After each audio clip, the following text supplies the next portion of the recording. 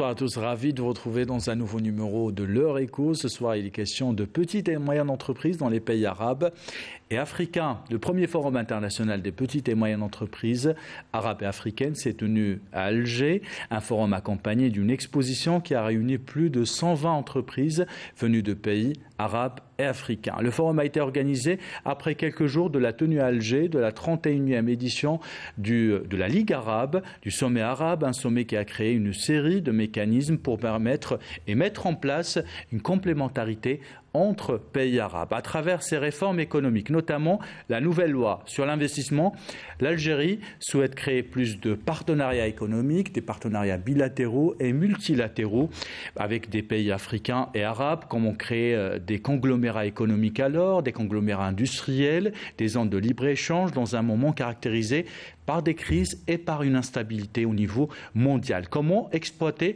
les différentes potentialités, les différentes richesses naturelles des pays voisins pour créer cette complémentarité? Nous verrons si nos petites et moyennes entreprises sont compétitive à l'international. Pour en parler, je reçois ce soir Sohila Abilash. Vous êtes chargé d'études et de synthèse au ministère du Commerce et de la Promotion des exportations. Adel Bensassi, vous êtes président du Conseil national de concertation pour le développement des PME et entrepreneurs dans la mécanique de précision. Je reçois également Hamoudi Khadimullah, vous êtes directeur Front Office, Business Development, Green Sky.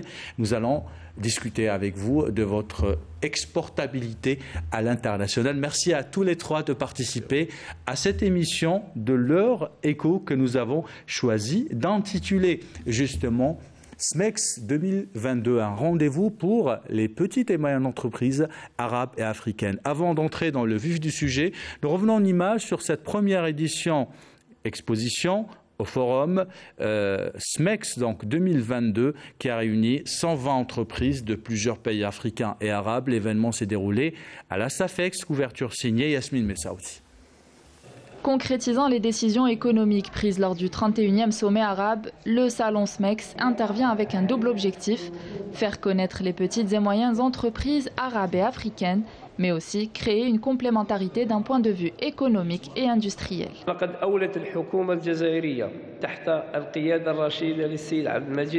L'État algérien donne une importance majeure aux PME en leur accordant toutes les facilités en traçant un programme annuel diversifié qui leur permettra de participer aux manifestations économiques internationales pour leur offrir plus de visibilité.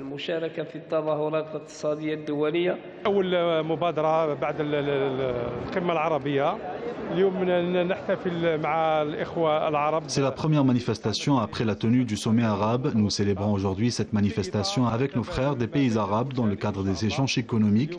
Plusieurs PME sont présentes dans ce salon pour créer une industrie arabe commune par excellence.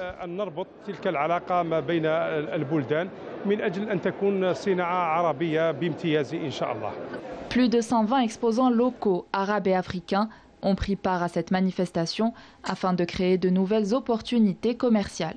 On est là pour le, salon euh, des petites et moyennes entreprises arabes pour l'objectif d'essayer de faire euh, se rapprocher des entreprises arabes pour essayer de faire des exportations de matières premières aux produits finis. Et spécialement pour les pays limitrophes et pourquoi pas l'Afrique dans les prochains années. Il y a une volonté des pays arabes d'investir en Algérie. L'Algérie est un pays aux fortes potentialités, que cela soit en matières premières, en main-d'œuvre et des produits qui peuvent concurrencer les produits européens. Nous intervenons dans le domaine, comme je viens de dire, de la transformation agroalimentaire des produits locaux, notamment les mangues, les goyaves, les citrons, qui est en confiture, sirop et fruits séchés. Donc, euh, nos, attentes euh, par rapport à l'événement, c'est d'avoir des partenaires qui pourront nous aider à grandir notre entreprise. Il s'agira entre autres pour les investisseurs, chefs d'entreprise, experts et entrepreneurs participants de soulever d'autres axes tels que l'accès des PME aux outils de financement innovants, mais aussi de prendre connaissance des facilitations mises en place par l'État au profit des investisseurs étrangers. Nous avons des garanties concernant donc l'amélioration du climat d'investissement en général par rapport au délai, par rapport à la définition elle-même du, du, de, l'acte d'investir qui est une nouveauté puisqu'il intègre donc euh, tout ce qui est immatériel dans, dans, dans la définition. Il encadre aussi tout ce qui est matériel, à savoir donc la participation à travers donc un équipement que peut apporter euh, l'investisseur dans le cadre du projet. Il intègre aussi euh, l'ensemble des, garanties liées, donc à l'arbitrage et, aussi au, recours qui est au niveau d'une commission.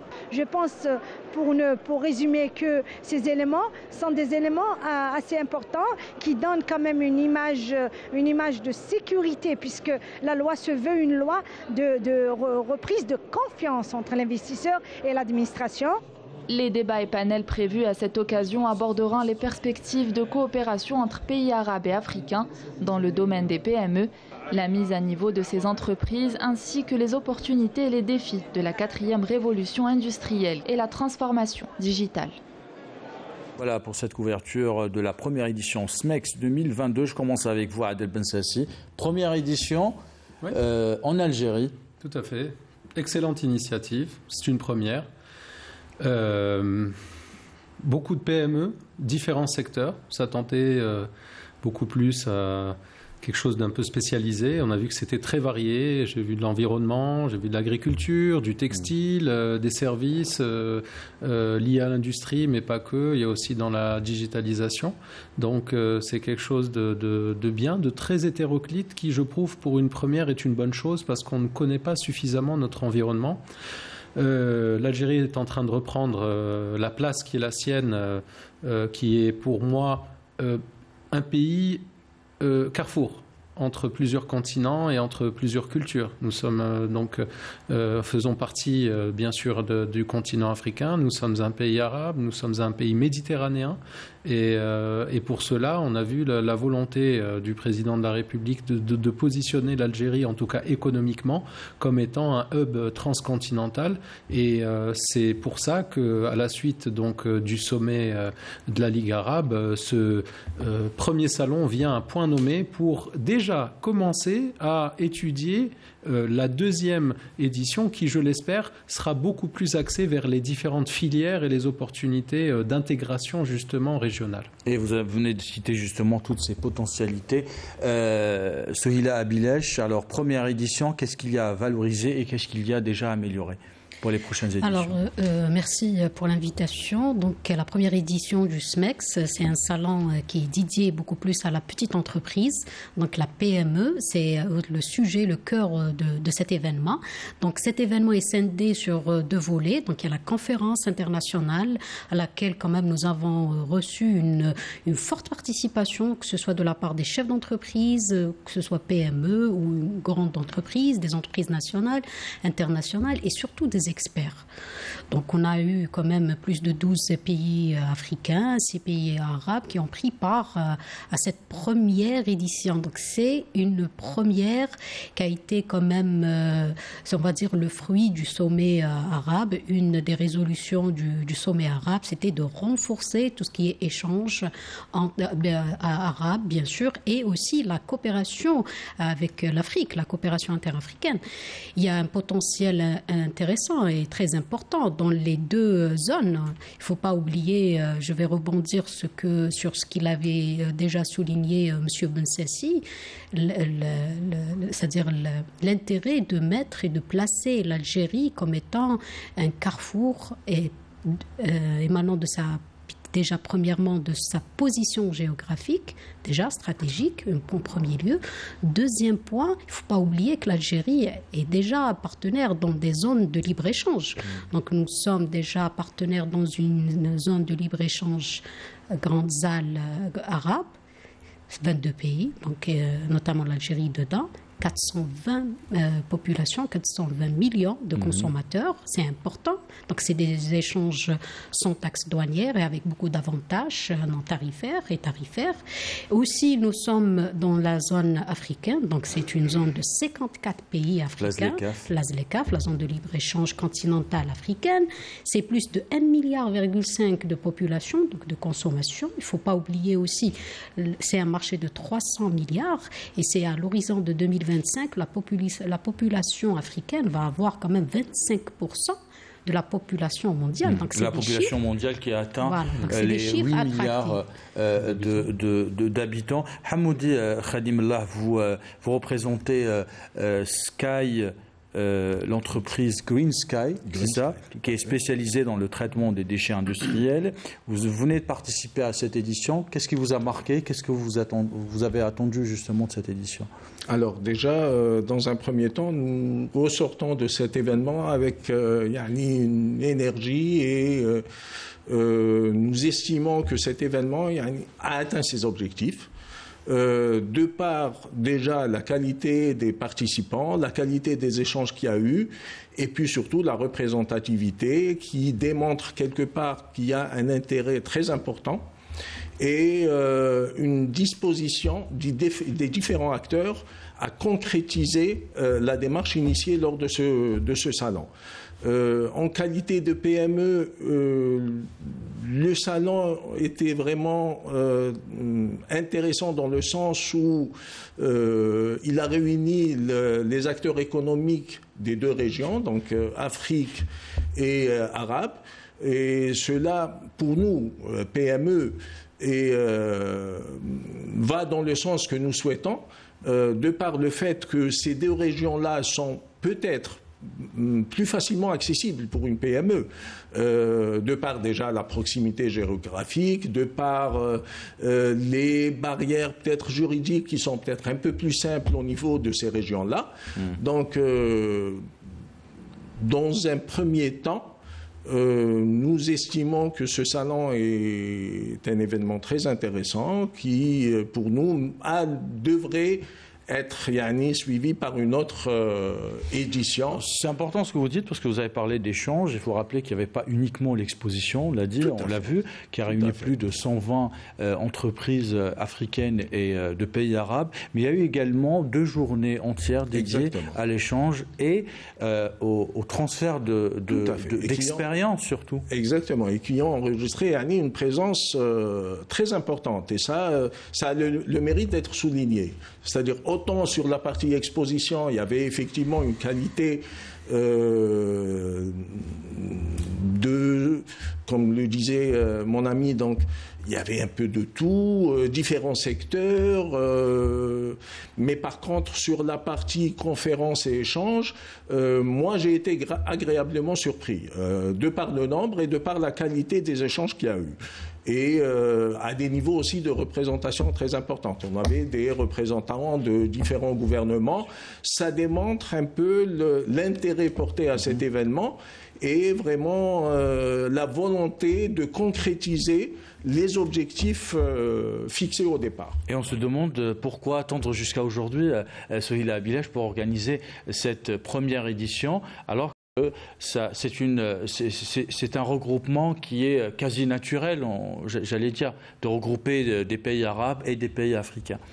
On va revenir à peu près euh, sur la, scène mondiale, l'économie euh, sur le mondial et les mutations euh, de, qui se passent et la conjoncture hmm. aussi. Hein pousse les entreprises et même les pays surtout hein, de se réunir et surtout de renforcer les plateformes d'échange pour qu'on puisse vraiment, surtout, surtout, comme on parle de la petite entreprise, la PME, promouvoir cette PME et lui donner cette possibilité de, de résister par rapport à, tout ce qui est qui se passe tout ce qui se passe euh, à l'extérieur. Donc il faut il faut avoir un écosystème favorable. Maintenant on parle pas du marché local uniquement. Il faut que c'est-à-dire la mondialisation elle est dans l'économie beaucoup plus. On parle de tout ce qui est marché à l'international. Oser l'international c'est un mindset par rapport au chef d'entreprise et l'entreprise l'opérateur économique que ce soit algérien ou autre. Mais il faut prendre en considération aussi, si on revient vers le, le salon ou la conférence internationale, c'est une conférence qui, qui, avait connu quand même 500 participants, experts et autres entreprises. Ça démontre, premier point, qu'il y a un intérêt il y a un engouement par rapport à cette thématique. La thématique, c'était autour de la PME et les défis de l'industrie 4.0, parce que c'est l'industrie du futur. Et mm. si notre entreprise, que ce soit la PME ou l'entreprise en général, ne va pas aller vers ce niveau d'industrie, ça va être pas possible pour persister et avoir ses parts sur le marché, que ce soit local ou international. Quand on parle marché, on parle d'une manière générale. Et globale. Et globale, tout à fait. Donc le deuxième point par rapport à l'intérêt, on avait déjà recensé à travers la participation des étrangers et le niveau aussi euh, de représentation euh, euh, nationale et internationale, l'intérêt porté vers le marché algérien. L'Algérie, après dernièrement, avec les réformes, avec le, nouveau code sur la loi, la loi sur l'investissement, beaucoup d'intérêt accordé suite aux orientations de son Excellence Monsieur le Président de la République pour renforcer le tissu industriel. Le renforcement du tissu industriel en Algérie, ça passe par la petite entreprise. Si on va revenir à la constitution de notre tissu, nous avons, on va dire, plus de 90% d'entreprises PME. Mhm. Donc, d'où l'intérêt de renforcer l'existence et de soutenir la petite entreprise en Algérie. Soutenir la petite et moyenne entreprise en Algérie, c'est, euh, on, en a déjà parlé sur ce plateau à Adel Bessassi de l'importance de la petite et moyenne entreprise. Comment la rendre aujourd'hui euh, compétitive euh, et comment attirer aussi d'autres investissements en Algérie? Bien, je dirais euh, d'abord euh, effectivement que la PME représente 97% mmh. des entreprises euh, existantes sur, en Algérie. tout secteur confondu. Oui, absolument. maintenant, si, comme disait Madame, on doit parler d'exportabilité, en tout cas sur l'état d'esprit, il y a effectivement une culture à développer dans ce sens-là, mais toutes les PME ne sont pas exportables. Maintenant, si vous permettez, on va parler du marché algérien puisque euh, les nouvelles, euh, la nouvelle réglementation qui, permet de faciliter l'investissement aux différents opérateurs, qu'ils soient nationaux ou étrangers, euh, va dans, ce sens-là. L'attractivité de la destination Algérie, on peut la scinder en, deux parties. La première sont les avantages accordés aux investisseurs, l'accompagnement de l'État, des institutions financières et, et, un cadre réglementaire très incitatif.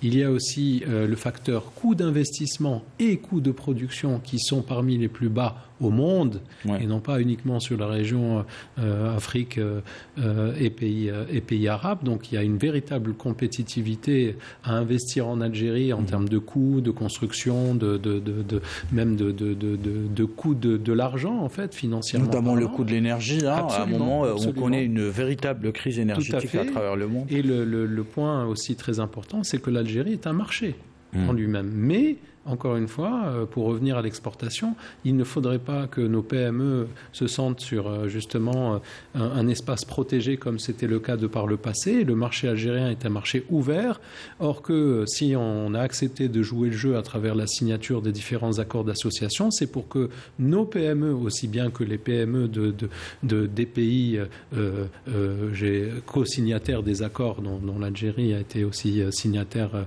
membre fondateur, jouent le jeu de l'exportation aillent vers d'autres marchés. Et je pense qu'il faut aussi décomplexer nos PME, puisque euh, euh, c'est au travers de l'exportation qu'elles verront qu'elles sont fortement compétitives. On a pu voir euh, lors de la présentation de la vidéo quelques secteurs, si on doit citer par exemple le secteur du textile, le secteur national algérien, mmh. l'électroménager, euh, les services liés à la digitalisation, tout ça, c'est des secteurs où, il y a véritablement une compétitivité qui est déjà avérée, euh, ne serait-ce qu'en termes de coûts de, production et de services. C'est pour ça qu'il est important pour trouver des complémentarités qu'on s'appuie d'abord sur euh, ces filières-là pour les pousser elle d'abord en tête de pont pour que les autres puissent suivre et créer peut-être un, effet d'engouement. Parce qu'il faut aussi ces success stories qui puissent dire voilà, écoutez, ces marchés-là, euh, on est capable d'y aller euh, et la route est déjà toute tracée avec justement la banque qui doit, qui doit suivre. Euh, on parle d'implantation des banques algériennes dans d'autres pays africains et arabes. en tout cas, on essaie de, de porter ce message-là. Ce sont les têtes de pont pour l'installation des entreprises algériennes vers les autres pays.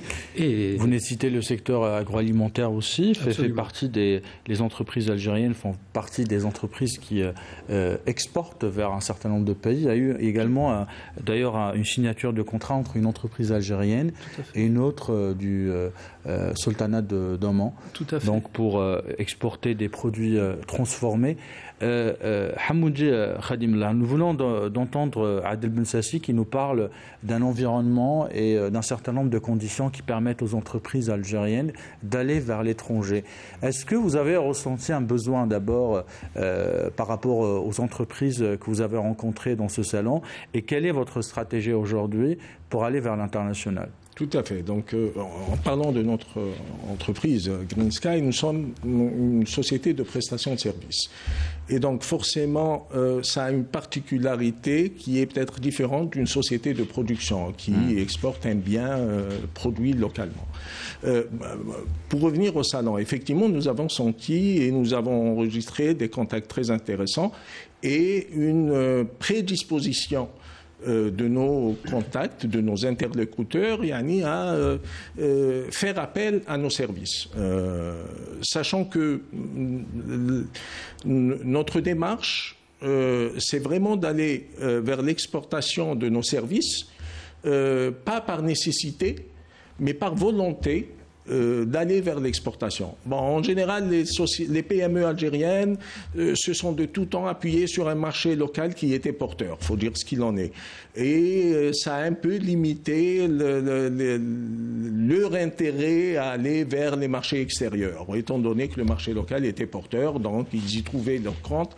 je pense que maintenant, l'approche est différente. Les PME sont vraiment maintenant dans une démarche proactive d'aller vers les marchés extérieurs, non pas encore une fois, ce qui est le cas de, notre société, par nécessité, parce qu'on est obligé euh, euh, et que le marché local est quelque part saturé. Non, c'est par opportunité et par volonté de développement. Euh, nous sommes dans cette démarche-là.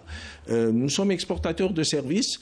C'est vrai que ça a peut-être euh, ça nous handicape un peu. C'est-à-dire exporter un service, c'est peut-être un peu plus compliqué qu'exporter un bien euh, fini ou produit.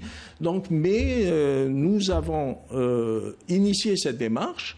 Mmh. Et nous avons effectivement la volonté d'aller déjà vers des marchés proches qui présentent un peu les mêmes caractéristiques que notre marché et par la suite prospecter euh, de plus en plus loin pour aller vers des marchés qui euh, peut-être aujourd'hui nous semblent inaccessibles, mais dans un futur proche seront forcément à notre portée. Euh, Sohila Abilash, est-ce que vous avez d'abord un commentaire par rapport à, ce que vient de dire euh, Adel Bensassi et M.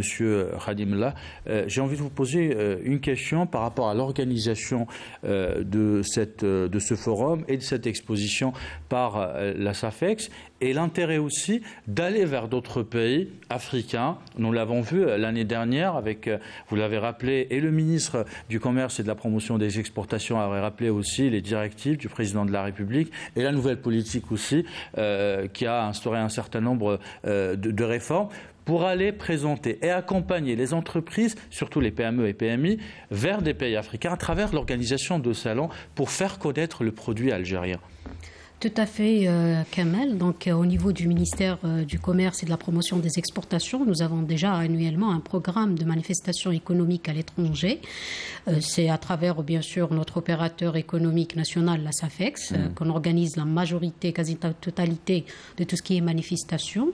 Suite aux, orientations de son Excellence, Monsieur le Président de la République, le chiffre déjà, l'objectif pour l'année actuelle, c'est 7 milliards donc, de 7 milliards d'exportations hors hors hydrocarbures. Donc nous travaillons sur ce sujet. Nous avons déjà dépassé les 5 milliards et nous estimons avoir vraiment, c'est-à-dire on clôture l'année actuelle avec les 7 milliards. Dans le, la perspective de tout, toujours accompagner nos opérateurs vers l'international, nous avons déjà préparé une série de manifestations. Nous serons déjà sur le plan national, nous, nous préparons le Asirar à Tamnaraset avec mm. la présence aussi des pays du Sahel. Donc on va inviter plusieurs pays africains. Et il va y avoir aussi un forum euh, d'affaires des pays, des hommes d'affaires des pays du Sahel. Donc il y a beaucoup de, de, programmes et d'activités qui vont être aussi au sein de cette grande manifestation. On va euh, commencer l'année 2023, euh, Inch'Allah, avec notre participation aussi à la foire internationale du Soudan. Khartoum, c'est un grand marché aussi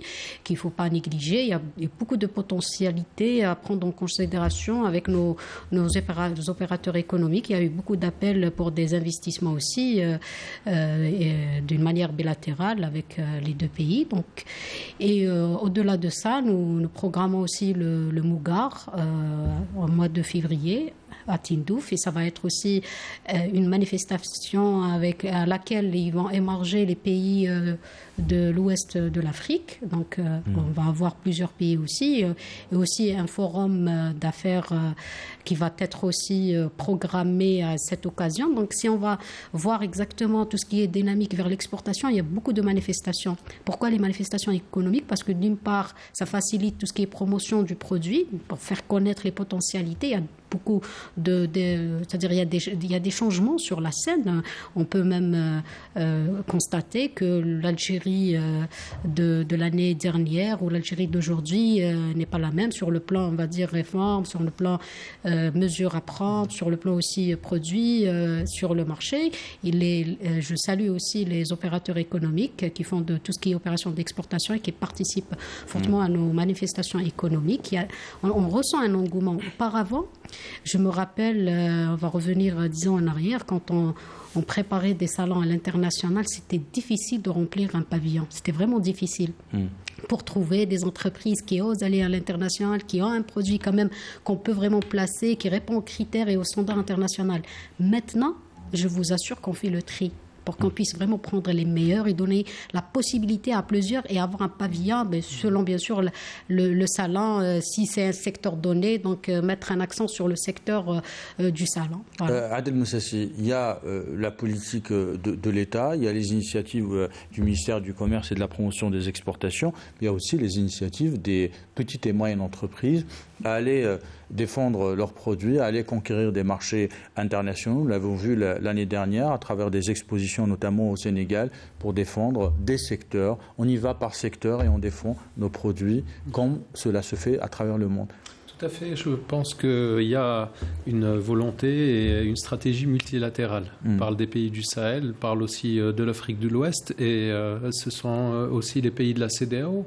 Donc c'est un ensemble économique qui est intégré avec une monnaie unique, avec une, langue, donc parle tous français, donc avec une facilité d'accès pour, pour des raisons géographiques et aussi culturelles. L'Algérie a aussi la on va dire, la légitimité euh, d'aller vers ces pays-là, les ayant beaucoup aidés économiquement et politiquement, lors notamment des guerres pour les indépendances. Il ne faut pas oublier ça.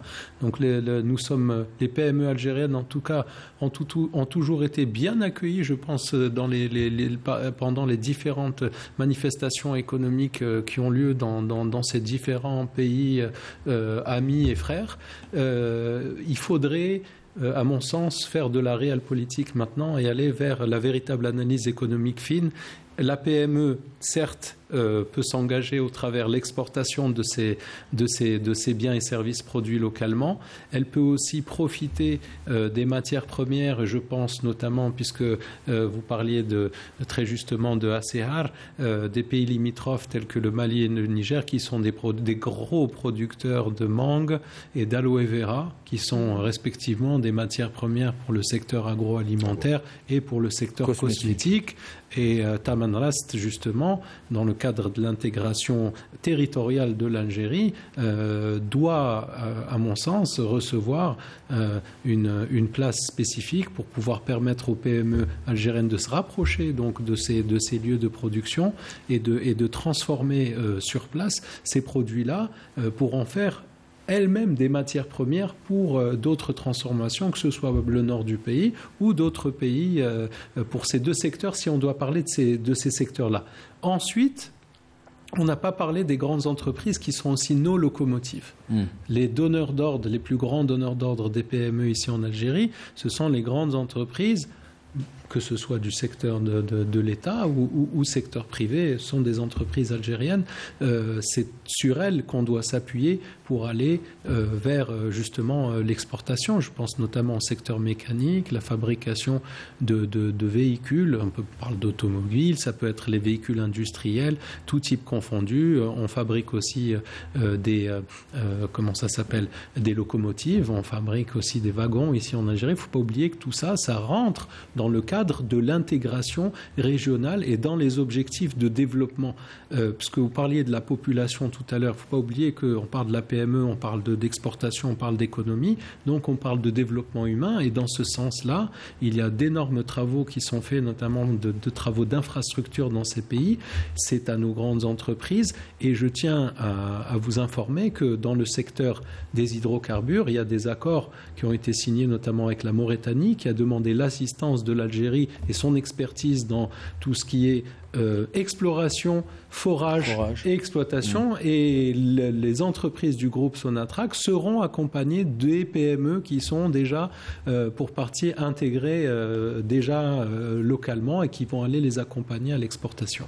Alors vous nous dites que nous ne sommes peut-être pas tout à fait au pinacle, mais nous ne sommes pas les derniers non plus. C'est ce que nous avons eu un certain nombre de discussions avec des représentants de PME, notamment du Sénégal, pour dire qu'il y a une, euh, une, une, découverte du marché algérien en fait.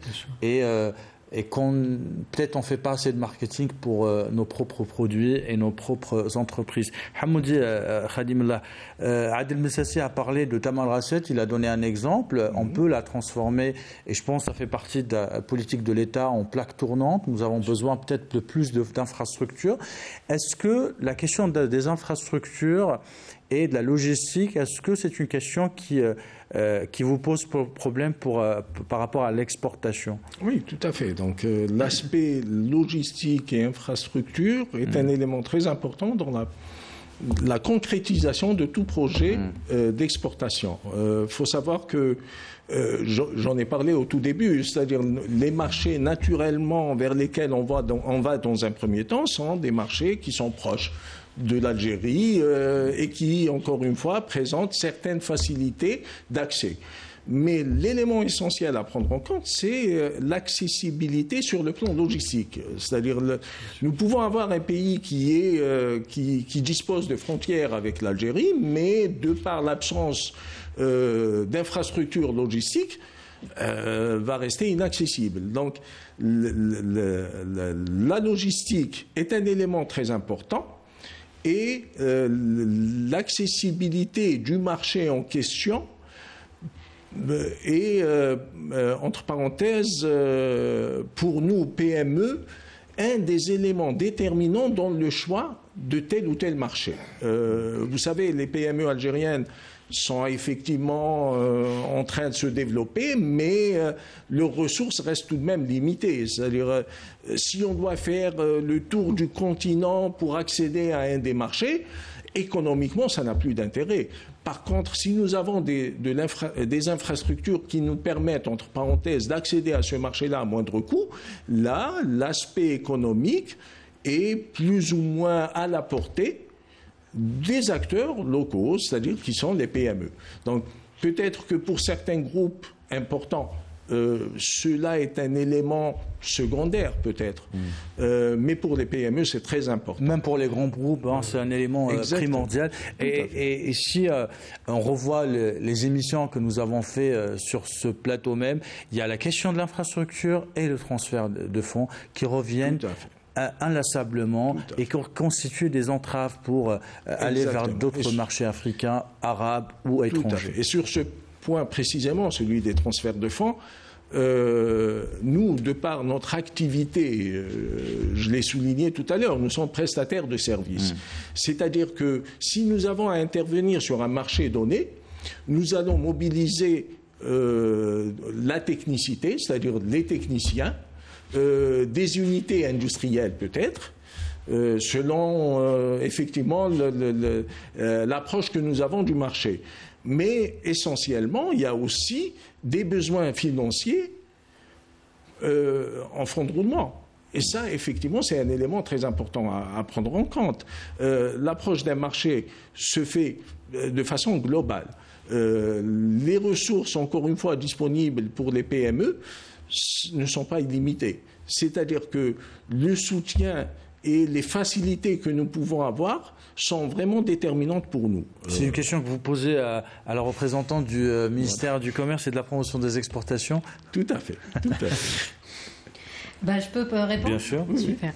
Alors, par rapport à tout ce qui est infrastructure, je partage avec vous, euh, bien sûr, ce point crucial, je dirais, par rapport à tout ce qui est opération d'exportation et aussi tout ce qui est mouvement des capitaux. Nous savons que très bien déjà par rapport à tout ce qui est logistique, nous sommes en phase de, mettre en place les zones euh, du libre, enfin des zones d'activité et des zones franches. Donc il y a un décret quand même qui stipule qu'il y a cinq zones euh, franches qui vont être installées dans les euh, du sud, beaucoup plus pour vraiment faire tout ce qui est échange et ça va être des plaques tournantes pour aller vers les pays africains beaucoup plus mhm. et bien sur d'autres pays. Il ne faut pas oublier aussi, euh, sur le plan aussi logistique, nous avons des infrastructures quand même qu'il faut valoriser et sur laquelle euh, déjà premier, le premier point, on, va on, parle de la transsaharienne. Mmh. Donc la transsaharienne, c'est un corridor euh, extraordinaire qui fait des connexions de plus de six pays avec une connexion vers directement Lagos. C'est un marché très très très intéressant, le Nigeria. Donc c'est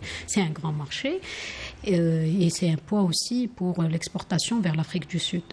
Si on va revenir vers euh, le, soutien de l'État pour tout ce qui est exportation, nous savons très bien que nous disposons auparavant d'un fonds euh, pour le soutien des exportations. Bon, il, il, a été clôturé par la loi de finances 2022. Là, nous sommes sur un, autre concept, c'est sur le budget du ministère du Commerce.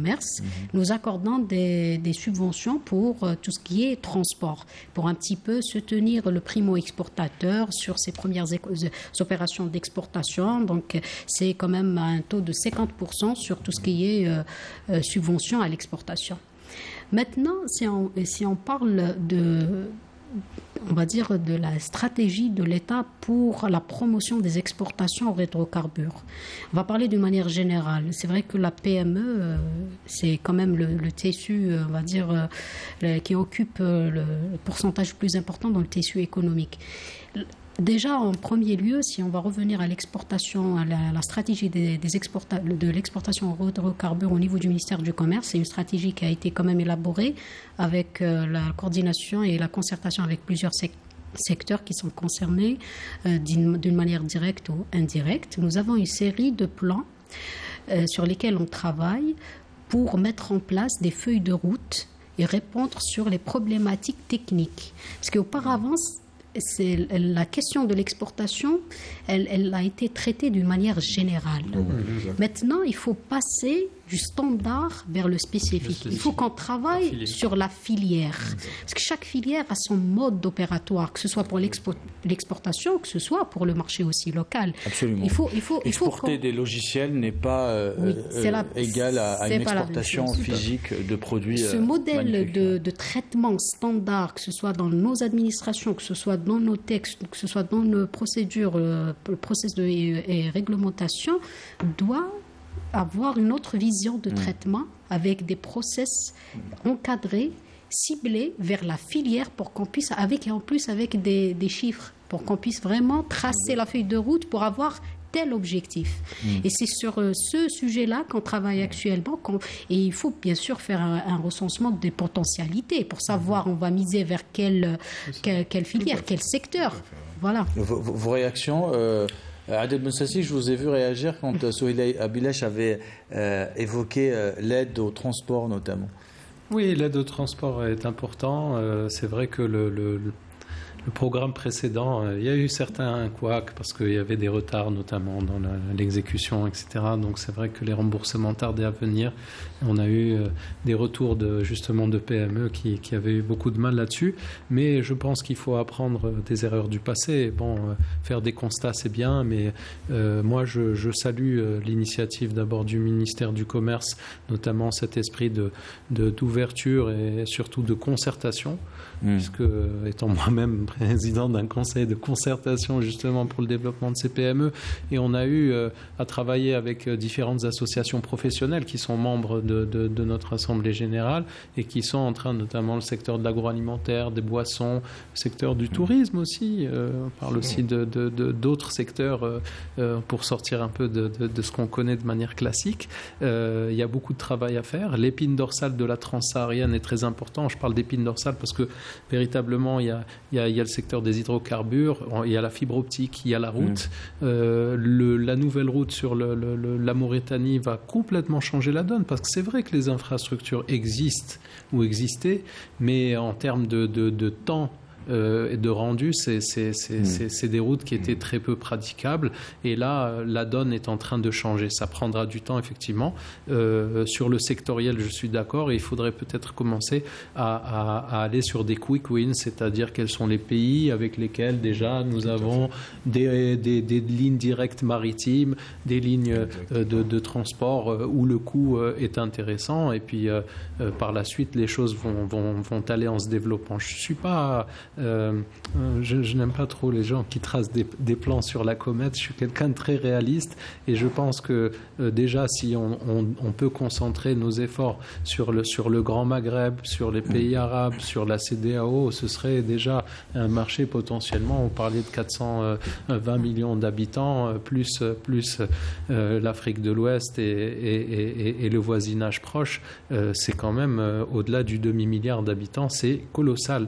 En tout cas, une chose c'est sûr, c'est un marché que nous avons peut-être euh, négligé pendant un certain nombre d'années. Et aujourd'hui, on se rend compte à quel point il est vital, il est essentiel pour notre économie et pour le développement de nos petites et moyennes entreprises. Euh, monsieur Hamoudi Khadimullah. Oui, oui, tout à fait. C'est effectivement, euh, je vous ai dit, le, le, marché algérien, et tant mieux d'ailleurs, était tellement porteur que nous avons effectivement négligé et mis de côté des potentiels qui aujourd'hui euh, ressortent et qui nous font encore une fois réfléchir à, aux parts de marché perdues. Parce que euh, l'Algérie, à un moment, les, PME et les exportateurs algériens, euh, à un moment, étaient absents de, ces marchés naturels, c'est-à-dire qui sont à notre portée, entre parenthèses.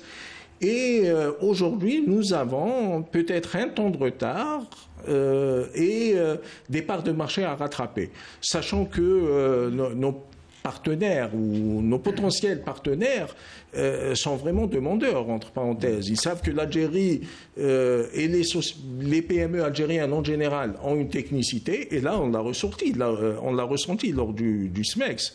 C'est-à-dire, il y a de la technicité, euh, il y a des produits qui répondent aux standards internationaux, euh, il y a des facilités qui sont accordées, donc euh, il n'y a plus qu'à effectivement concrétiser euh, les contacts et les projets euh, initiés lors de ce salon et euh, concrétiser les contacts et les projets justement c'est une question. Nous allons faire peut-être un dernier tour de table pour parler de cette nécessité aujourd'hui qui nous est imposée. Vous avez rappelé tout à l'heure sur Ila le contexte international les crises économiques intervalles réguliers la crise énergétique nous l'avons évoqué tout à l'heure. Est-ce que aujourd'hui cette donne cette nécessité va peut-être accélérer les choses euh, pour aller vers cette complémentarité euh, qui a été euh, justement négligée un certain nombre d'années à Sassi oui, en fait, la situation, on va dire, économique mondiale actuelle pousse à aller vers le régional plutôt que le global. Mm. On parle de régional, on ne parle pas de pays, bien sûr, mais, mais d'une région géographique ou mm. sous-continentale éventuellement. ça va être un vecteur d'accélération. Euh, c'est sûr que bon, ce qu'il y a eu, euh, le passé, c'est le passé. Maintenant, euh, dans les entreprises qui ne, qui ne prennent pas en compte cet aspect compétitivité, exportation sont amenés à disparaître un jour ou l'autre, de toutes les manières. Donc, ce que disait M. Hamoudi sur s'asseoir sur un marché qui est garanti, etc., c'était bon à une certaine mm. période. Ça a permis aussi le développement de champions nationaux qui sont actuellement justement ces entreprises compétitives qui sont à même d'aller d'aller à l'export. Je vous donner une petite expérience. J'ai visité quelques pays continentaux euh, de notre cher continent africain. Et à chaque fois, croyez-moi, les entreprises algériennes, très bonne image, qualité euh, satisfaisante euh, par rapport aux besoins, véritable compétitivité des produits. Et qu'est-ce qu'on nous dit à chaque fois? Où est-ce que vous êtes? Où est-ce que vous êtes Donc, c'est encore une question. Hein. Et là, cette fois-ci, je pense que la politique de la chaise vide, c'est terminé.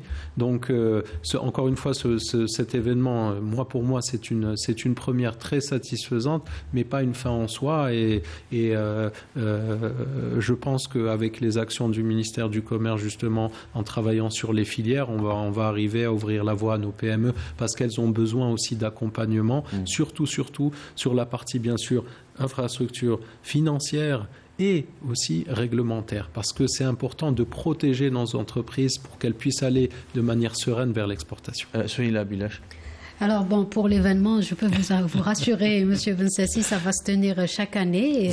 vous, avez déjà annoncé à une deuxième édition l'année oui, prochaine. Exactement, et euh, la SAFEX elle a été félicitée par rapport à tout ce qui est organisation, et elle a été nommée comme partenaire stratégique de l'événement. Ça veut dire mmh, que même si le, cet événement va se tenir ailleurs, parce que c'est il y a 22 pays arabes, donc euh, on peut tenir quand même l'événement dans d'autres pays, c'est une plaque tournante. C'est la SAFEX qui va être aussi l'opérateur euh, stratégique qui va faire tout ce qui est organisation Maintenant, si on va revenir à la politique de la chaise vide, tout à fait. Donc, on a encaissé déjà, on voit les résultats, mais maintenant, avec la nouvelle politique de l'État, du gouvernement, ça a été annoncé, c'est plus le marché consommateur. L'Algérie n'est plus un marché consommateur.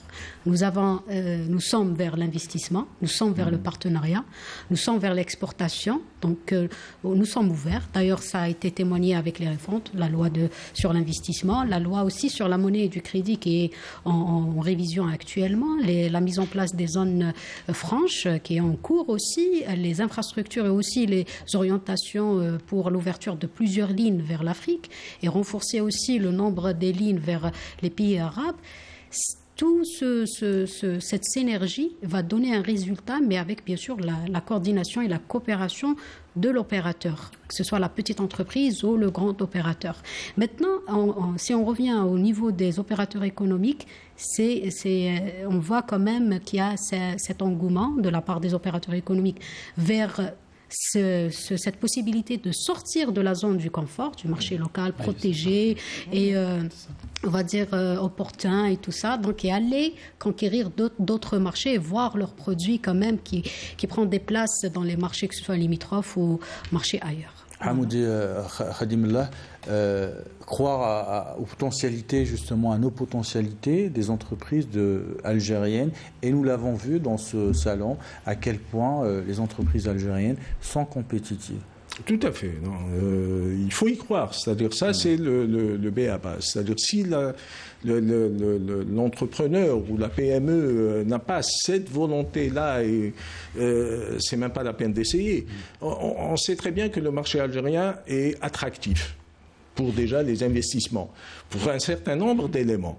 À nous de faire en sorte que ces éléments-là, qui sont effectivement euh, d'ordre économique ou autre, représentent pour nous, PME, un avantage économique vers l'exportation. C'est-à-dire que euh, nous avons euh, euh, l'opportunité d'être sur un marché local qui présente des éléments de compétitivité qui peuvent nous permettre, nous permettre encore une fois, d'être vraiment compétitifs sur les, marchés internationaux. Et la PME doit vraiment intégrer cet élément celui d'aller et de s'ouvrir vers les marchés internationaux. Nous l'avons vu euh, déjà de par la participation et de par l'intérêt des PME algériennes euh, à multiplier déjà ce genre d'événements, parce que pour eux, c'est vraiment une opportunité de, euh, de contact et une opportunité d'ouverture. Donc, et encore une fois, pour ce qui nous concerne, je parle au nom de notre société dans Green Sky, la démarche est initiée. Et euh, nous avons la volonté d'aller euh, effectivement au bout de cette démarche et concrétiser notre présence sur des marchés euh, internationaux. Alors, dernier tour de table, 30 secondes chacun pour parler de votre actualité. Commence avec vous, euh, Bilash, ministère du Commerce et de la Promotion des Exportations. Les prochains rendez-vous peut-être? Alors, prochain rendez-vous, c'est le ACA. Nous avons aussi la foire de la production nationale, hein, qui va mhm. ratisser un peu large sur tous les secteurs euh, d'activité.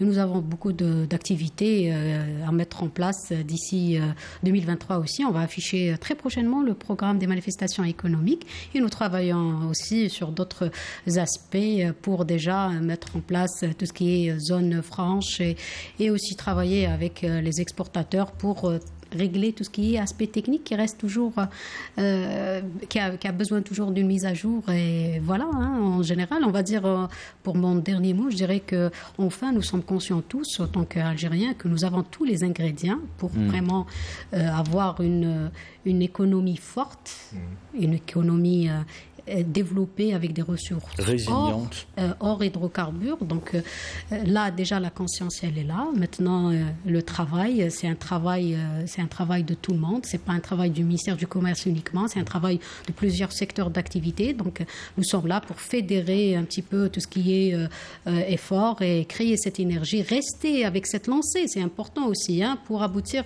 à la finalité d'une nouvelle Algérie développée. Hamoudi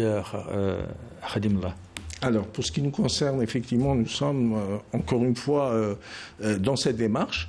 notre société, donc Green Sky, a aussi initié un certain nombre de développements sur de nouvelles technologies, des innovations, qui encore une fois vont nous donner plus de, possibilités d'être compétitifs sur les marchés internationaux et d'être au diapason des technologies de notre secteur, qui sont la gestion des déchets en général. Et euh, nous sommes en train de concrétiser ces projets. Nous avons encore une fois euh, des contacts très intéressants sur des marchés proches que nous espérons concrétiser très prochainement. Et encore une fois, c'est-à-dire ce que nous avons, notre souhait aussi, c'est qu'ils bénéficient à l'ensemble des PME algériennes. C'est-à-dire nous sommes peut-être entre parenthèses, précurseurs dans notre domaine, euh, mais euh, euh, encore une fois, c'est dans l'intérêt des PME algériennes en général. Bien, actuellement, nous sommes en train de travailler avec le secteur des hydrocarbures sur l'intégration et le développement du contenu local. Donc, on a identifié dans ce sens certaines contraintes euh, il y a l'accès au marché, il y a euh, l'aspect réglementaire et il y a hmm. l'aspect euh, compétitivité. Et les deux sont liés à l'exportation. Si on veut être compétitif, il faut non seulement qu'on soit exportable et donc qu'on réponde aux standards internationaux et s'appuyer sur une infrastructure qualité, ça c'est très important, même si on n'a pas eu le temps d'en parler. Hmm. La deuxième des choses, c'est atteindre des volumes suffisants pour faire des économies d'échelle, d'où l'importance de l'export, non pas comme une chimère pour dire oui, on va exporter par plaisir, mais encore une fois, compétitivité, qualité. Pour compétitivité, qualité euh, des produits. Merci à tous les trois d'avoir participé à cette émission. Sohili Abilèche, vous êtes chargé d'études et de synthèse au sein du ministère du Commerce et de la Promotion des Exportations. Nous sommes revenus avec vous euh, sur la politique du ministère euh, du Commerce, mais également sur les prochains rendez-vous économiques en Algérie et à l'étranger. Hamoudi Khadimullah, vous êtes directeur Front Office Business Development de Green Sky. Nous sommes revenir avec vous justement sur votre stratégie de développement à l'international, les entraves qui euh, vous empêchent à aller vers l'international. Adel Bensassi, vous êtes président du Conseil national de concertation pour le développement des PME et entrepreneurs dans la mécanique de précision. Nous avons évoqué avec vous un certain nombre de points, notamment euh, ces points qui entravent les PME algériennes d'aller vers l'étranger, la logistique et le transfert des fonds. Merci à vous d'avoir suivi cette émission. J'ai eu le plaisir de la préparer avec Nawal Abadal a été réalisé par Hassan Cherkouri. J'aurai le plaisir de vous retrouver à partir de jeudi prochain pour le journal de 19h et lundi prochain pour un autre numéro de l'heure écho. Belle soirée.